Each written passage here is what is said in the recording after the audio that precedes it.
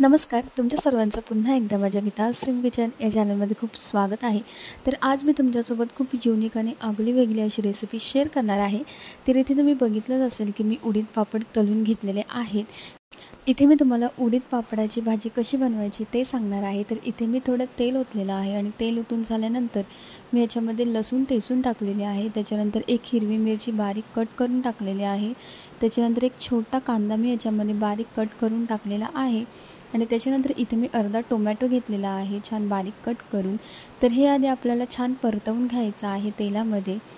रोज रोज आपण तेच तेच खाऊन कंटाळतो तर ही भाजी तुम्ही नक्की ट्राय करून बघा. खूप छान आणि झटपट होणारी अशी रेसिपी आहे आणि चवीलासुद्धा खूप छान लागते.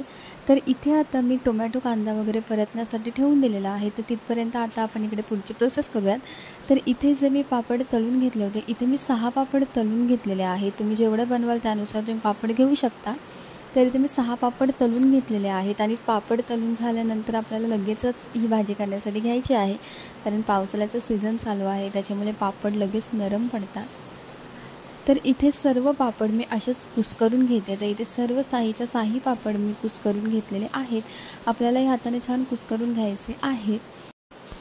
तर इकडे सुद्धा टोमॅटो कांदा मिरची लसूण छान तेलामध्ये परतून झालेली आहे. छान मॅश बारीक अशी झालेली आहे.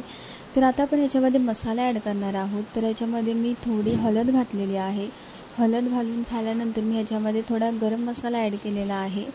आणि गरम मसाल्यानंतर मी इथे तिखट मसाला ॲड केलेला आहे. तुम्ही जेवढं बनवाल त्यानुसार तुम्ही मसाले कमी जास्त घेऊ शकता अंदाजानुसार. तुम्ही जेवढं बनवाल त्यानुसार. तर इथे मसाला ॲड करून झाल्यानंतर तुम्हाला जर याच्यामध्ये आणखीन कोणते मसाला ॲड करायचे असतील तर तुम्ही नक्कीच करू शकता. तर मसाले पूर्ण मिक्स झाल्यानंतर मी याच्यामध्ये आपण कुस्करून घेतलेलं उडदाचे पापड होते ते कुस्करून घेतले होते ते मी आता याच्यामध्ये ॲड केलेले आहेत. आणि आता हे आपल्याला छान मिक्स करून घ्यायचे आहे. तर इथे आता पूर्ण पापड छान आपले मिक्स करून झालेले आहेत. तर आता याच्यामध्ये मी चवीनुसार मीठ ॲड करणार आहे. तर आधी मी याच्यामध्ये कोथिंबीर ॲड करणार आहे. मी इथे कोथिंबीर बारीक कट करून घेतलेली आहे. कोथिंबीर टाकल्याने खूप छान फ्लेवर उतरतो कोथिंबीरचा आणि स्मेलसुद्धा खूप छान येतो. त्याच्यानंतर इथे मी चवीनुसार मीठ ॲड केलेलं आहे. उडीद पापडमध्ये ऑलरेडी मीठ असतं. त्याच्यामुळे मीठ आपल्याला थोडंच ह्याच्यामध्ये टाकायचं आहे. तर मीठ आणि कोथिंबीर टाकून झाल्यानंतर पुन्हा हे मी छान मिक्स करून घेतलेलं आहे. आणि इथे आपली उडीदच्या पापडांची भाजी सुंदर टेस्टी अशी भाजी छान तयार झालेली आहे. तुम्ही ही भाजी भाकरीसोबतसुद्धा खाऊ शकता. भाकरीसोबतसुद्धा खूप छान लागते. तेच तेच पापड तलून तलून खाऊन कंटाळा आला असेल तर तुम्ही ही रेसिपी नक्की ट्राय करून बघा.